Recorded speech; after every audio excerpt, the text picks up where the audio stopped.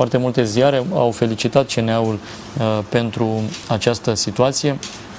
Uh, în special uh, ziarul meu de suflet, ziarul pe care l-am și înființat, l-am și fondat, Jurnalul Național, uh, titra, dacă nu mă credeți, căutați în colecție sau o să vă arăt pagina întâi, titra Felicitări CNA, în sfârșit acea mizerie, acea cloacă, acea televiziune OTV atât de jegoasă a fost scoasă în afara legii.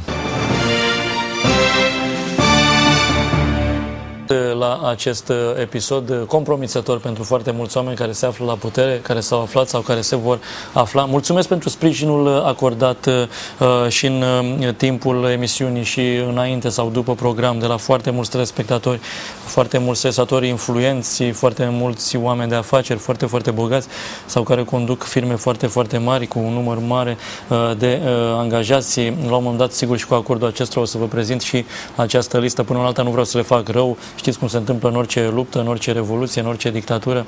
S-ar putea cei care să mă sprijină pe mine să primească și ei la rândul lor represalii și de asta nu vreau să le uh, mulțumesc în direct. Am primit toate mesajele lor. De asemenea, primesc mesajele dumneavoastră chiar în timp ce vă vorbesc și la SMS 1269. Văd ceea ce se întâmplă și la televot și vă mulțumesc la 1710 și de asemenea văd și ce se întâmplă în mail-uri uh, la dddr.rondandiaconescu.ro și la SMS-urile primite la 0731 144 933. Revenind așadar la discuția mea uh, telefonică cu acel cetățean atât de important, I-am spus așadar în trei rânduri, crezând că nu mă aude sau crezând că vorbește cu altcineva despre situația OTV-ului din acea zi, din, acel, uh, din acea amiază și am spus ce îmi spusese o, colegul său de uh, regim, de dictatură, că este vina sa, acestuia cu care dialogam la telefon și că numai dânsul mă poate ajuta sunând la CNA, mă gândeam eu, ca și atunci, țineți minte, cu doi ani înainte, când uh, CNA-ul mă respinsese cu 7 la 4 și totuși uh, cei care se aflau la putere și consideram eu, erau într-un fel datori, măcar moral, dacă nu și în uh, alt fel, dacă nu dăduseră nu știu ce posturi pe care mi le promiseseră, măcar să-mi fi dat acum dreptate. Ei bine, acest domn mi-a zis, uh, păi trebuie să te duci la... Deci v-am spus că prima oară a zis să mă duc uh, la un notar uh, să rezolv. Eu am crezut că n-a vorbit cu mine, am repetat povestea și el a zis din nou textual, nu înțelegi că trebuie să mergi la un notar și totul se rezolvă. Această scenă eu o văzusem, poate mulți cinefili o cunosc, în câteva filme uh, cu mafios sau despre mafios, filme atât uh, americane cât și uh, italiene, dar nu mi-a venit niciodată să cred că voi uh, face parte și eu dintr-un asemenea film uh, câțiva ani mai târziu după vizionarea acestor pelicule. Mi-am dat seama că vorbea cu mine, în primul rând, tu nu înțelegi că trebuie să te duci la un notar? Și eu am început să mă gândesc din nou, însă mult prea târziu. Și mi-am dat seama că discuția mea telefonică cu acest domn avea legătură cu discuția din acel birou, știți dumneavoastră care, aia cu mușcatele de la fereastră, cu 300 de mii, cu 800 de mii, cu cele 25 de milioane visate de mine și cu nimicul oferit uh, de el. Era aceeași persoană, Uh, probabil v-ați dat seama din descrierea destul de sumară, dar uh, este evident un personaj atât de uh, familiar. Avem și, l-am dat o să vedeți niște imagini petrecute imediat după această convorbire telefonică, ca să intrați mai bine în atmosfera acelei zile și a acelor ore și mi-am dat seama că uh, ar putea avea legătură această replica sa legată de notariat cu cele întâmplate cu câteva săptămâni înainte. Dar mi-a plăcut să nu cred în asta, uh, am sperat că nu este adevărat și l-am întrebat, domne, ce notar, despre ce notar vorbiți? Nu înțelegeți că ăștia mi-au închis postul? și eu acum trebuie să redeschid și dumneavoastră, numai dumneavoastră mă puteți ajuta că omul ăsta la altul, care într-un fel vă e și șef, cum vă fi, vă fi subaltern, că nu prea înțeleg care e structura asta în România, cum sunt puterile orânduite, omul ăsta a zis că este afacerea dumneavoastră, la care dânsul foarte spontan, deși într-adevăr se auzea uh, o gălăgie în jurul său, deși era pe acolo cu cine știe câți președinții de stat, Uh, mi-a uh, răspuns uh, următoarele. Iarăși ești obraznic, iarăși ești arogant, vrei să spun că ești impertinent, nu înțelegi că și aici a urmat din nou ceva foarte, foarte important, de fapt esența cazului. Vă povestesc însă după un singur spot publicitar. Revenim în direct la aceste prime dezvăluiri din viața mea, uh, din viața dumneavoastră. Este, din câte știu eu, cel puțin uh, la nivel de televiziune, pentru prima oară când se întâmplă așa uh, ceva, pentru prima oară când aflați ce se petrece în spatele ușilor închise, ce se petrece în țara în care trăiți, în statul în care trăiți. O să vedem dacă sinceritatea mea mă va costa sau, din potrivă, mă va avantaja și, în funcție de asta, după cum împreună vom privi finalul războiului, la un dat cineva va trebui să uh, învingă sau uh, pacea care se va așterne, o să vedem în ce termeni uh, se va scrie. E bine, din finalul acestui război, e bine să învățați cu toții. Pe unii dintre dumneavoastră care încă stați pe margine îi și înțeleg, poate că și eu aș fi făcut la fel. Pe ceilalți care ați tăcut foarte mulți ani, chiar că vă înțeleg uh, de tot, fiindcă am, am tăcut și eu foarte, foarte mulți ani și o să înțelegeți uh, de ce dacă ascultați povestea până la uh, sfârșit. Ei bine, când eu am spus că, domne, ce notariat, că s-a închis, că CNA-ul, uite, m-a închis acum două ore și dumneavoastră mă puteți redeschide, el m-a făcut impertinent, obraznic și uh, arogant, adăugând, nu înțelegi că dacă te duci acum la notar cu puncte, puncte, și aici a dat prenumele unui mare alt uh, conducător, tot așa, unul din primii uh, 10 sau primii 5. Dacă te duci acum la notar cu puncte, puncte, se rezolvă totul. Și eu în acel moment, sigur nu mai eram atât de naiv, dar uh, eram evident destul de șocat, dar nu uh, atât de tare încât să nu mai pot da o replică. Mi-am dat seama că totul era exact din filmele respective, probabil că și eu și adversarul meu văzusem aceleași filme, el s-a gândit să le și joace în uh, realitate, pe pielea mea, nu știu de ce m-o fi ales tocmai pe mine, nu știu de ce mi se întâmplă tocmai mie, știți vorba aceea românească, ceea ce se întâmplă astăzi, ce avea cu mine acești oameni. E bine, acel om mi-am dat seama că vorbea serios și că totul avea o legătură cu întâlnirea precedentă care se solda, să țineți minte, cu acel final. Eu am zis, mă gândesc, mai vorbim, mai ne gândim, uh, cu 51% pe nimic și cu promisiunea noastră de a da mai multă publicitate decât merită OTV, astfel încât eu să-mi iau diferența și să mă uh, consider mulțumit la un moment dat în care să vă sun și să, să vă spun să nu mai trimiteți atâta publicitate de la discuția cu acea mușcată din fereastră. Ei bine, Uh, când am auzit că despre asta este vorba, ce idee credeți că mi-a venit mie, care uh, mă credeam sigur uh, până în acel moment foarte, foarte deștept? E o idee de oltean șmecher, dar care mi-a fost, din păcate, fatală. Am zis, domne, Păi da, stați puțin, sigur că da, merg la notar. Dar ce să semnez eu la notar? Păi eu nu mai am ce să dau la notar, că eu nu mai am televiziune. Ce vreau eu să vă rog? Dați dumneavoastră telefon acum la CNA, cum ați dat și când uh, uh m-au închis, dați telefon, ăștia o să mă redeschidă, cum, cum sunt ei slugi așa. Eu, când văd acum, pe, că în timp ce vorbeam cu dânsul la telefon, am uitat să vă povestesc, pe televizorul meu, unde prindeam și OTV în birou și unde plătisem oricum abonamentul la firma de cablu, nu mai era uh, OTV-ul se sfârșise chiar în timpul convorbirii, fiindcă rând pe rând, cabliștii, și aici asigur o altă poveste, opreau la ordinul telefonic al uh, demnitarilor statului uh, emisia Postului TV, oricum samavolnic, în fine, și contrar oricăror uh, contracte, prevederilor oricăror contracte comerciale. Uh, și am spus, domne, nicio problemă, domne. Păi da, dă dumneata telefon acum la CNA, eu văd acum că se rea emisia postului, deci am ce să vând și gata, mă întâlnesc cu nea Uh, cel nominalizat de dumneavoastră adineauri, mă întâlnesc, mergem la notar, că atunci am și ce să vând și gata, domne, colaborăm. La care uh, cel de la capătul firului, cel care în timp ce vorbea cu mine conducea și România, făcea mai multe lucruri de, deodată, se întâlnea și cu șefii altor state, îmi spune, evident, un bun, mult mai bun negociator ca mine, uh, nu numai în diplomație, cât și iată în business, îmi spune, te crezi șmecheră? Păi nu înțelegi că întâi trebuie să mergi la notar? Eu, evident, mă așteptam la această replică tăioasă. Vorbeam acum cu unul dintre cei mai mari mafioți, nu așa, în carne și oase. Îi văzusem până atunci în filme, acum îi cunoșteam și personal. Era o luptă interesantă, nu? Uh, era un challenge, cum se spune. Și am uh, replicat și eu în același ton. Da, domne, Sigur că da, dar de ce să nu facem invers? Ce, n-aveți încredere în mine? Păi eu n-am încotro. Dacă nu mă duc pe urmă la notar să uh, semnez, mai dați iar telefon la cine și iar mă închid. Că oamenii mai pot face o ședință. Ei se întâlnesc în ședință când dați dumneavoastră ordin și închid, deschid, nu e nicio problemă. Ce șmecher ești. Mă, nu înțelegi că trebuie să faci cum îți spun eu. Și discuția s-a prelungit, fiindcă discuția, trebuie să înțelegeți, s-a avut aproximativ 4 minute, conform înregistrărilor oficiale. Eu însă am spus așa, domnule, dar eu acum sunt la birou, am presa străină la ușă și nu știu ce să le spun. Ce variantă să le spun? Că am fost închis, că am fost uh, deschis, că m-ați închis dumneavoastră, că m-a închis colegul.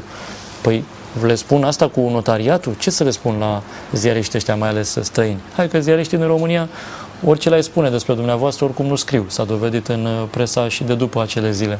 Așa de frică nu se uh, le băgase acest personaj sau acele personaje care atunci guvernau sau atât de multă publicitate. Probabil au și ei tot 800 de mii în loc de 300 de mii și toată lumea tăcea și toată lumea era uh, fericită, mai puțin subsemnatul la care dânsul a ținut să adauge și așa s-a și terminat convorbirea haide că devia gasant, el îmi spunea mie, trebuie să înțelegi că după ce pleci de la notariat, până ajungi acasă, postul va emite din nou.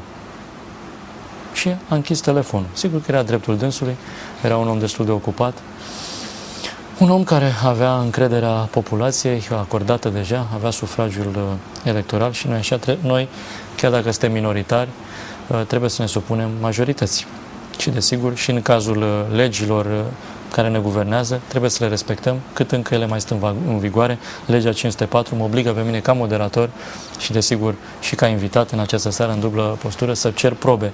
Domnul Diacon, dar aveți probe?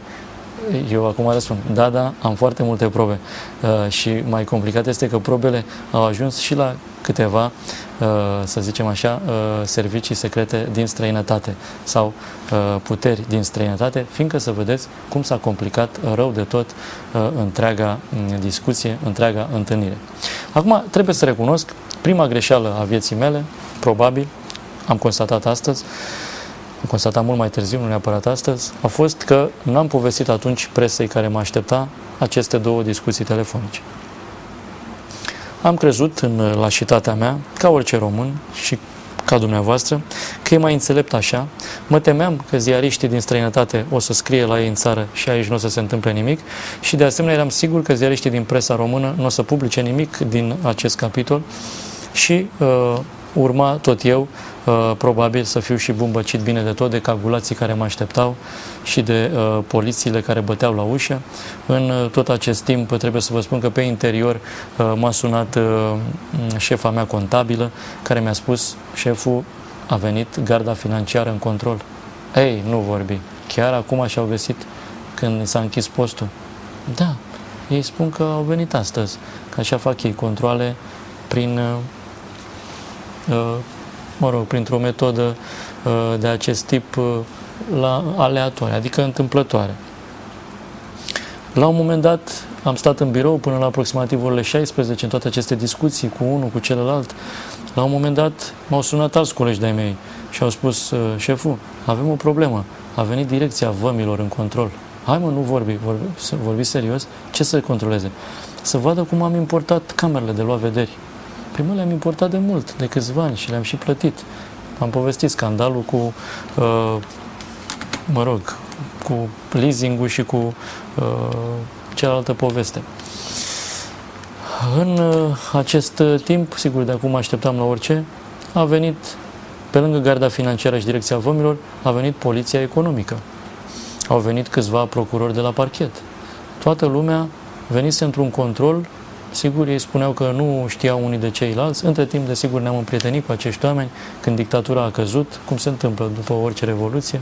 Oamenii au venit și ne-au povestit toate cele întâmplate, cum au fost trimiși de către cine. Sigur că acei oameni n-au nicio fel de vină și de aia nici nu consider că ar trebui să dăm publicității aceste dovezi pe care le avem în acest sens de la acești oameni care au mărturisit la un moment dat când s-au retras, când s-au pensionat sau când au plecat din acel sistem nenorocirea pe care fusese obligat să o facă. Desigur că am găsit înțelegere la ei chiar și atunci pe moment și au spus am fost trimiși, dar asta e, hai că vă dăm amenda minimă și plecăm. Lucrurile, sigur, însă erau complicate sub alt aspect, fiindcă ei, cei veniți în control în 12 septembrie 2002 la toate firmele pe care le dețineam la Registrul Comerțului, erau mai mulți decât noi angajații. Pur și simplu era o chestiune de spațiu și de, de timp ca să putem caza uh, atâtea organe de control. Dar, desigur, ce se putea întâmpla uh, mai rău decât închiderea postului, prin urmare, uh, nu ne mai deranja această situație. Dar, fiind bombardat de toate aceste informații, că toată lumea e în control, că au venit procurorii, că au venit pe mascații și văzut în jos, credeam că sunt pentru alții uh, oameni, pentru alte cazuri, constatam tot la, în aceste momente că erau pentru mine, uh, de frică, probabil de teamă, uh, de român uh, ce am fost și ce sunt încă, am preferat uh, să nu povestesc asta uh, presei. Numai că, desigur, am uh, discutat uh, cu presa uh, foarte multe lucruri din cele întâmplate, sigur cele legate de CNA, fiindcă până un alt actul de închidere al postului era totul semnat de CNA.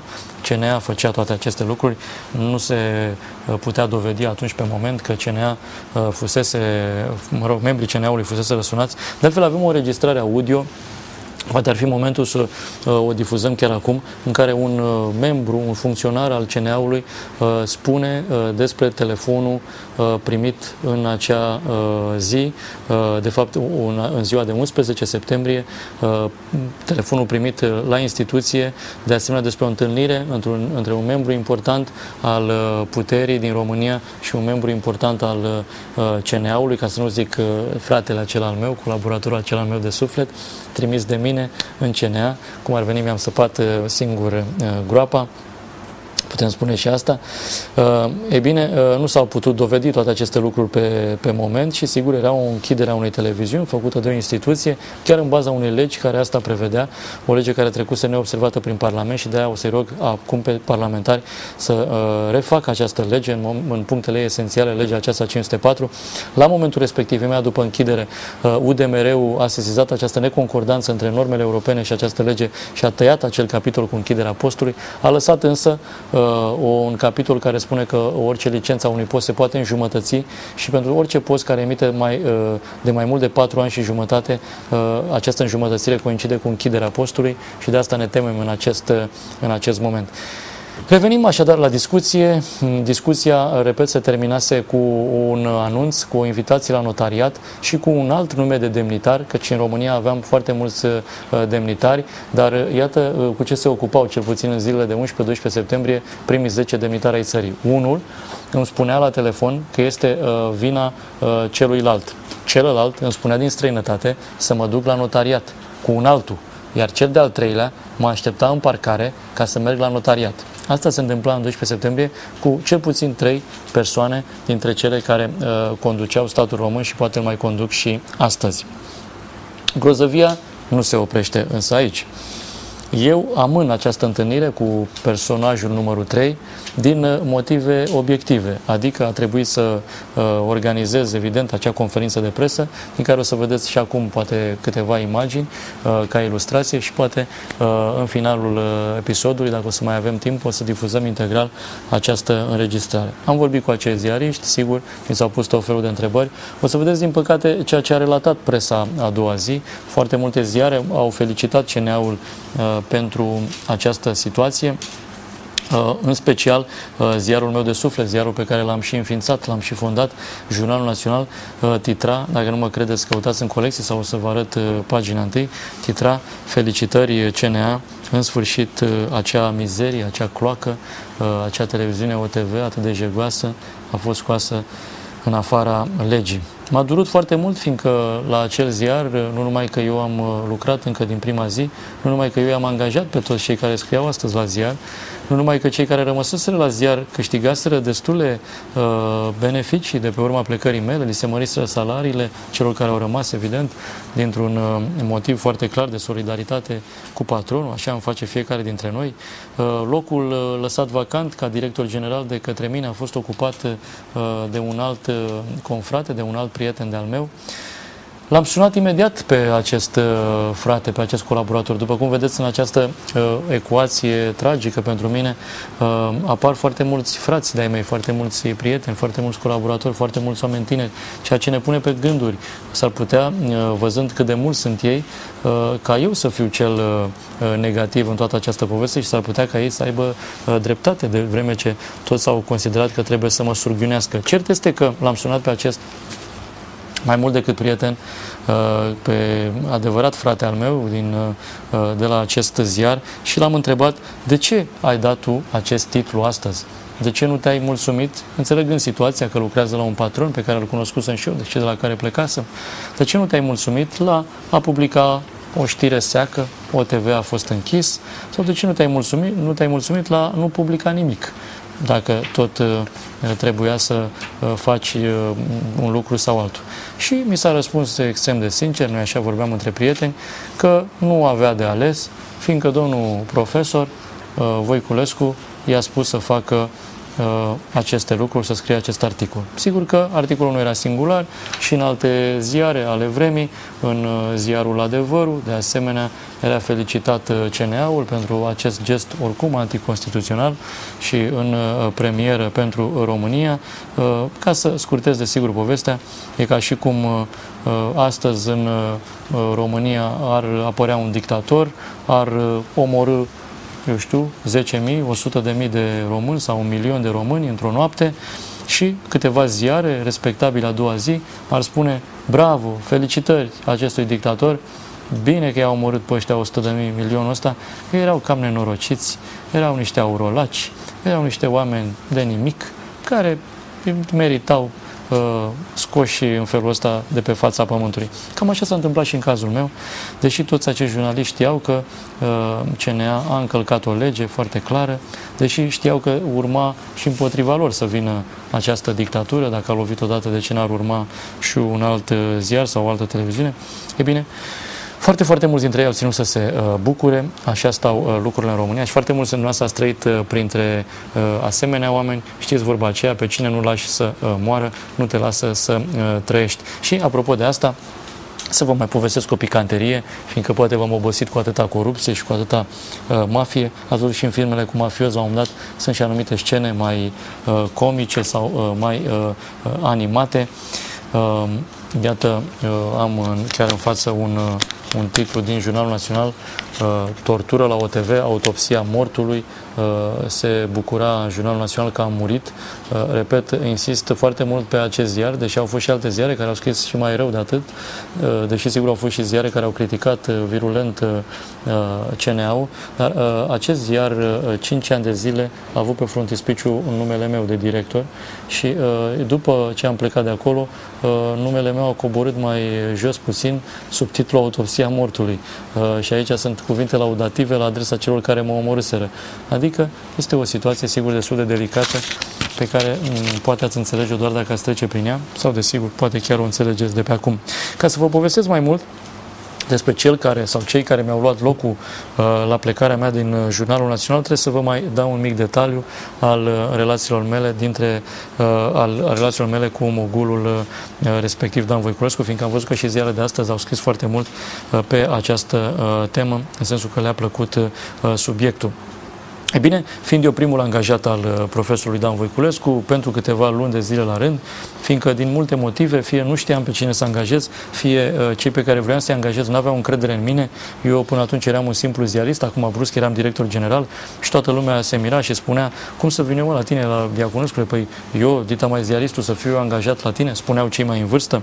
Alții spuneau nu pot să vin că ăla e securist și că a furat banii lui Ceaușescu. Spuneam, Doamne, ferește, sunt bani curați, uite să ăștia banii, nu i-a luat nimeni de la Ceaușescu, stați liniștiți, o să fie bine, o să vă dau salarii mari. Și aveam o perioadă destul de grea la început, în care n-am putut să îmi angajez decât colegii de facultate, cum v-am spus, sau colegii de gașcă din, uh, din Caracal, fiindcă nu cunoșteam pe altcineva în țară. Și acești oameni, sigur, mai amărâți decât mine, uh, unii care absolut nu aveau niciun fel de pregătire în, uh, în domeniu, i-am și angajat. De altfel, domnul Dan Voiculescu m-a și certat, uitându-se în cărțile lor de muncă, îmi spunea, ce faci mă, angajez un lăcătuș mecanic sau angajez un pompier și ziceam, nea, nea Dane, se domnule, că sunt prietenii mei și am încredere în ei, o să învețe ei să fie și ziariști. Și s-a dovedit cu timpul, acum ei sunt mari ziariști, am spus, mulți m-au și înlocuit uh, și uh, alții conduc gazete, televiziuni sau posturi de uh, radio.